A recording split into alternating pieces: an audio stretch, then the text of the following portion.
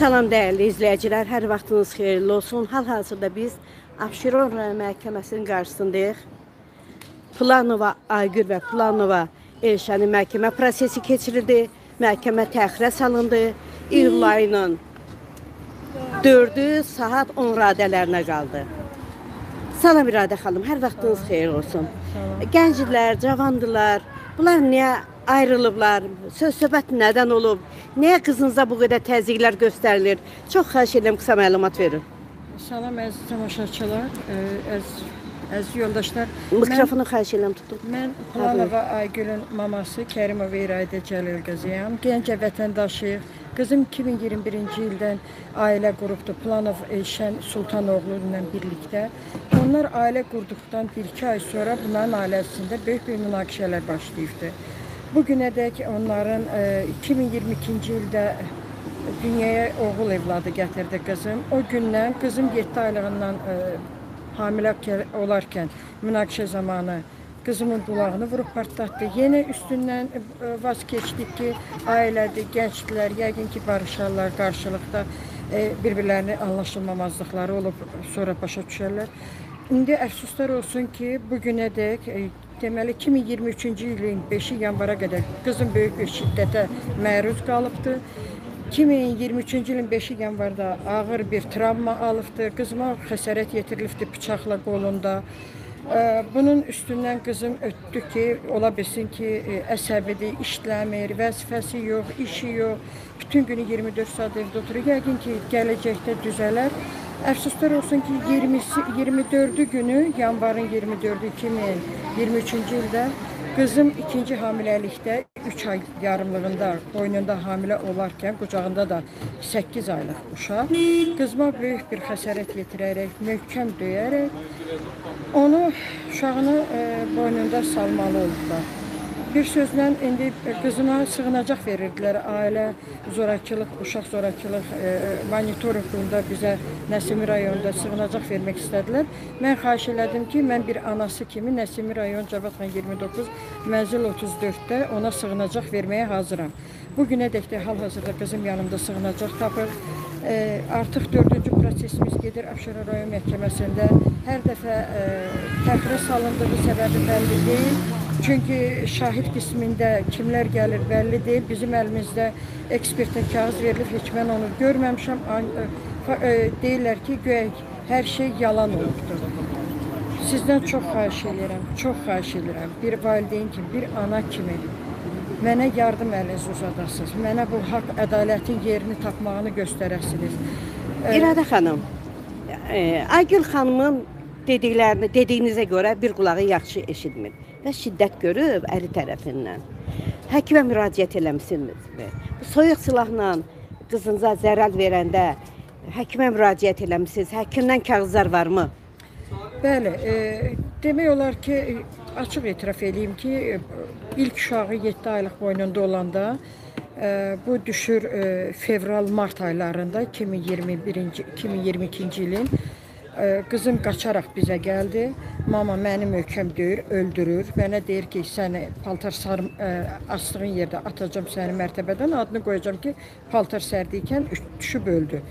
Ə, mənim qızımı möhkəm döyərək qulağını kar elib partladıb. Mən bu müraciət elədim bizim ə, Respublika Azərbaycan Respublikasının xəstəxanasına. Ə, orada da Leyla doktor baxdı. Leyla doktor dedi, bu ekspertlikdir, çünki hamilə qadın qulağı partlayıb, pərdəsi hər an bağlana bilər, amma qulağı əməliyyatlıqdır, artıq eşitmir. Yalvar yaxşı elədim ki, bunlar ayrılmayacaqdır. Gənc ailədirlər. Bu gün ə, böyük bir münaqişələrə girməyək. Üstündən ə, boş verək keçsin, bəlkə düzələr. Əfsuslar olsun ki, düzəlmədi. Düzəlmədi. Uşağı da dünyaya mən gətirdim. Uşağın da keçirvəsini mən elətdirdim. Uşağın 40 il çıxan kimi qızıma dedilər ki, bir ata kimi uşağını görmək istəyir. Mən də dövlət var, qanun var, düzdür. Biz hələ dövlətə müraciət eləməmişdik. Amma haqq ədalət dedim öz yerinə alacaq. Dedim, atasıdır, bu uşağı görsün. O uşağı görmək adına uşağı qucağına alıb qaçırtdı. Qızıma da zəng elədi, dedi, arxamca gələrsən. Qızım da məcbur oldu, getdi. Getdiyi gün qaşqasına telefona vurub partladım. Deyib bir də sən evdən gedərsən, anana xəbər verərsən sənə vurduğumuz şiddə. Biz deyir arvadı döyə döyür gədirik. Əgər dedi biz arvadı döyməsək, onda biz kişi deyilik. Hal-hazırda da oğlan heç yerdə işləmir. E, bəlkə indən sonra e, cinayət işi məsələsinə görə arası işə düzələr. Amma o işləməyib, 24 saat gün ərzində qızımla evdə olur. Qızıma nə yemək, nə içmək düzəməli vermir. Uşaq allergik doğulub, uşağın müalicəsi yoxdur. Hamısını özüm baxıram. Özüm dayə işləyirəm. Onun əsasında uşağıma özüm baxıram. Amma var gücüm qədər. Gücüm nəyə çatır? Qızıma sığınacaq verməyə də ölənə kimi də arxasında durmağa hazıram. İradə xanım, qarşı tərəfin vəkili vəsadət qaldırdı ki, güya sizin dedikləriniz yanlışdır. Təzədən istintaq başlasın. Amma hakim qəbul eləmədi, vəsadəti qəbul eləmədi dedi yox. İndi siz bu barədə nə deyə bilərsiniz? Valla e, heç nə deyə bilmirəm. Hakim yaxşı bilir ədalət nə deməkdir.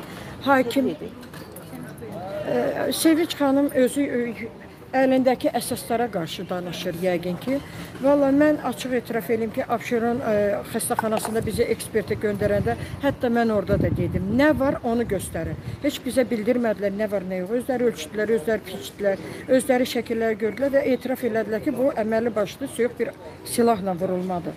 Mən də dedim, haqq ədalət nədir öz yerini alsın. Gənc ailədirlər. Uşağın bir gün bir yaşı tamam olur. Bəli, bu gün onun bir buradaydı, yaşı. bibisi buradaydı. Heç Uşağa yaxınlaşmadı Heç uşağa. biri yaxınlaşmadı. Amma heç istəməzdim ailələr dağılsın. Qismət, qismət. Kimə müraciət edirsiniz? İlk öncə bizim Azərbaycan Respublikasının vitse-prezidenti möhtərəm xanım, birinci xanımımız Mehriban Əliyeva, o da bir anadır, o da bir nənədir. Yəqin ki, o məni yaxşı anlayır. Qadınlar Şurasının, Qadın Uşaq ə, Şurasının sədri Hicran xanıma müraciət edirəm. Allah canlarını sağ eləsinlər bu qadın zorakılıq ə, monitorinq da işləyən e, Nəsimi rayon icra hakimiyyətində monitorinqdə işləyən Zivər xanıma o çox böyük bir mənə yardımlar eləyibdi bu günə kimi. Bu günün özündə də səsimi dinləyir. Hətta deyibdi müraciət də elə. Bir şey olsa xəbər elə biz sizin arxanızdayıq. İnandırım sizə ki, deməsinlər ki, dövlət yoxdur. Çox gözəl dövlətimiz də var. Qanunu da özü bilir nədir. Mən də inanıram ki, Sevinç xanım Uliyeva bizim möhtərəm hakimimiz Abşeron rayon icra e, Abşeron rayon məhkəməsinin e, Hakimi. hakimi. Yəqin ki, o e, haqq ədalətli çıxarış eləyəcək. Bizim çox gözəl işgəncələr əleyhinə araşdırma mərkəzimiz var. Rəhbəri də Fikrət Cəfərovdur. Mən sizi onun da qəbuluna aparacağam. Bu sözləri orada da deyərsiniz. Yəqin siz tək deyilsiniz. Allah can sağ eləsin. Mən inanıram ki, bizim qadınların belə zorakılıq, şiddət alınanlarını yerdə qoymasınlar. Hə- ə, Haqq ədalət öz yerini alsın. Kim nə iş görürsə də, hansı qadına işgəncə verirsə də öz cəzasını alsın. Mən bunu istəyirəm. Çox Oldu. İradə xanım, Çox təmkin sağ olun. olun, haqq yerini tapar. Allah razı olsun. Siz sağ olun, dəyərli izləyicilər. Hal-hazırda biz Abşeron rayon məhkəməsinin qarşısındayıq. İki gəncin məhkəmə prosesi keçirildi. E, Qarşı tərəfin vəkili vəsadət qəbul elədi ki, işə düzgün baxılmayıb, lakin hakim Sevinç xanım Quliyeva təşəkkür edirəm, vəsadəti qəbul eləmədi.